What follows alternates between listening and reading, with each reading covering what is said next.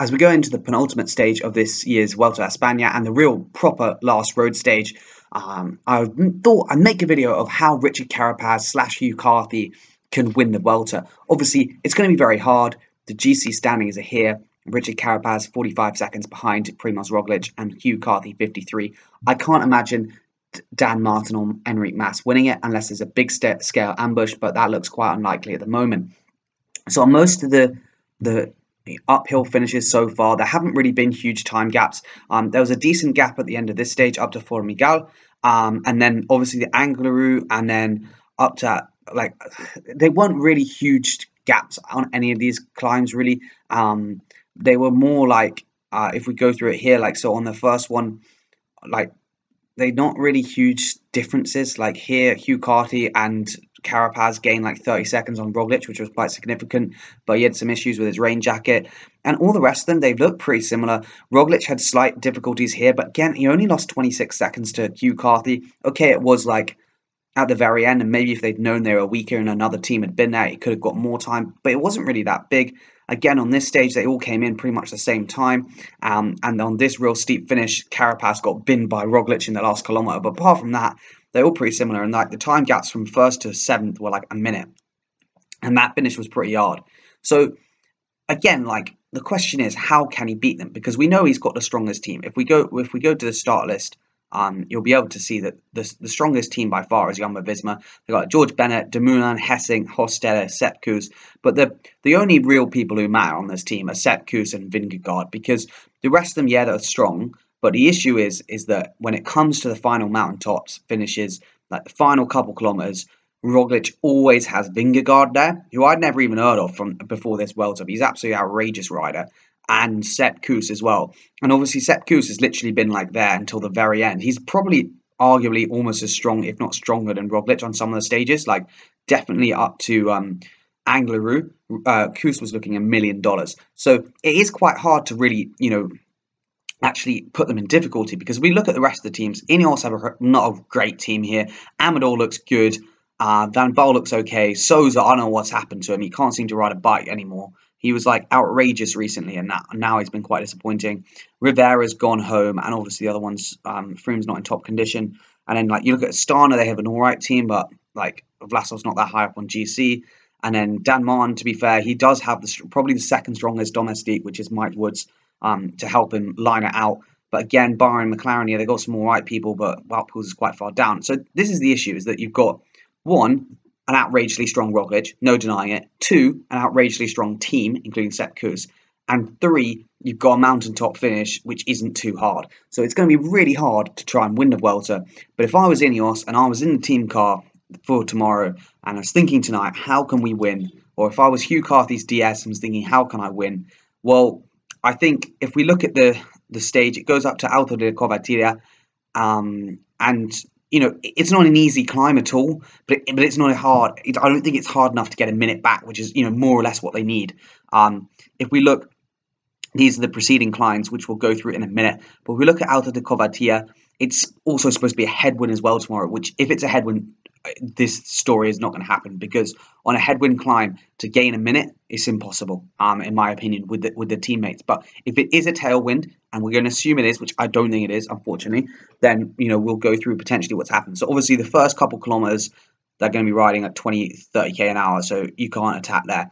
You then got the hardest kilometer comes at kilometer 4 to 5 which is 10.4 and then it's pretty hard for like the next two three kilometers but it's not hard enough. In my opinion, I don't think you can put a minute into Roglic unless he has a big, big crack on a stage like this. Because the issue I think you have, in order to put a minute, what you've got to do is you've got to set a ridiculous tempo from minute one to basically put Roglic in as much pain as possible and hope that you're stronger, and also to distance all his domestiques, apart from probably Kuss, who'll still be there. Um, so then let's say you've done that, you've got down to the final, you've got, let's say, Mike Woods on the front, drilling it for Hugh Carthy. Hugh Carthy attacks, Roglic and Kuss can't follow, or Kuss, uh, Roglic can't follow, so Kuss is back with Roglic and pacing. To get a minute back on this climb, like realistically, where is it going to be that it's going to be strung out enough? It will be maybe with like 9k in like two kilometers.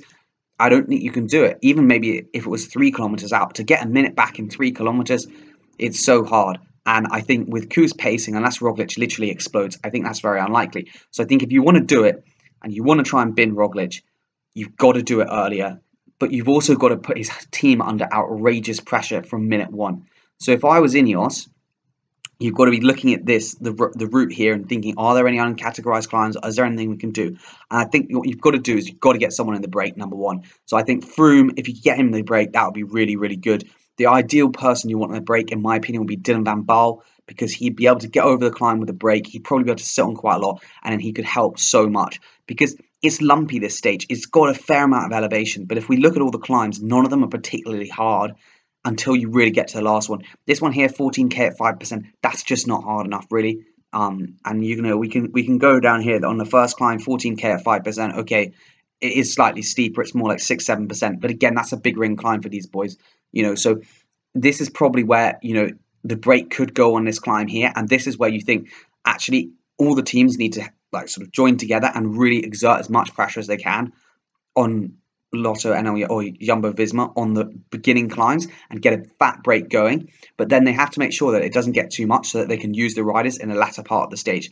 Because I think then think in order to get away on every single one of these climbs, you've got to have a team riding super hard on the front to try and drop as many people as possible.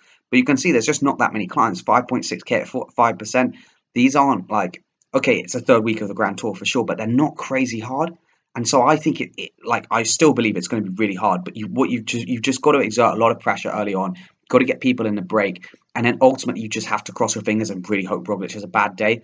Um, but I mean, if you can get to the bottom of this climb, let's if you can get to the bottom of the Cova, de la Covatilla with like you know, let's say Ineos have Van Baarle up the road. You've got like Hugh Carthy's got Mike Woods there, and Roglic maybe only has Vingegaard and Kuss left, or maybe Kuss and Dumoulin, someone like that then I think you've got a chance.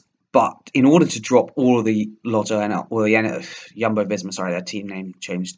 Um, Jumbo Visma boys, I think it's going to be really hard, and I think you know th- this climb here could be pivotal for the last, the second to last climb, because okay, it's not that hard again, but if people really launch it here, you could drop quite a lot of potentially domestiques at this point, and then you know you've got the opportunity at least to just race really aggressively on the last climb, just set a stupid tempo to begin with, and then see if Roglic is, has any weakness.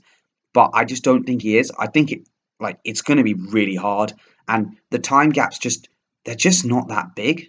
Like this is the issue. If we look at like the results overall, oh, sorry, um, if we look at the time gaps here, they're they're just not very big.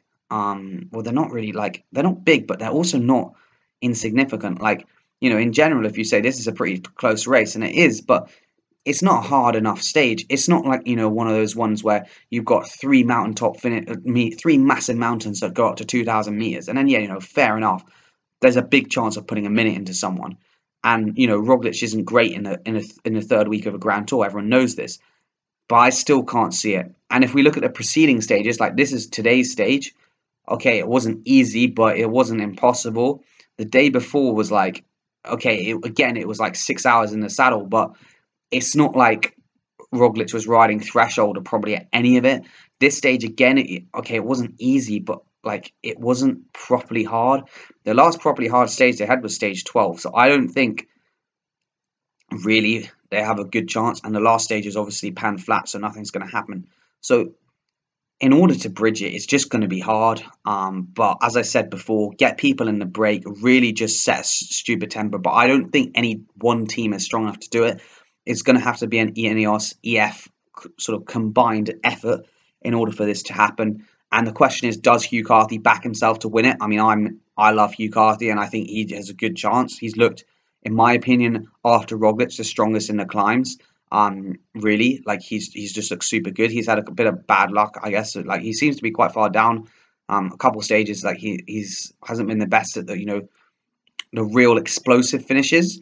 But on the main big climbs, like Formigal, Angliru, he's looked the best. So I think Hugh's got a good chance. Um, but it doesn't help that Roglic getting six seconds today. Um, that's really not ideal. But it just goes to show you that Roglic is such a punchy guy. Like it's a joke. I don't understand how he gets up mountain passes and can sprint so well. But anyway, it is what it is. Um, and those are my thoughts. Obviously, leave your comments below. How would you beat Primoz Roglic? I, I don't think it's going to happen, but that's how what I really hope it does because I really enjoy Richard Carapaz and Hugh Carthy, how they ride. That's just a lot more exciting than Mr. Boring Primoz Roglic. Um, but yeah, cheers for watching, and I'll see you in the next one.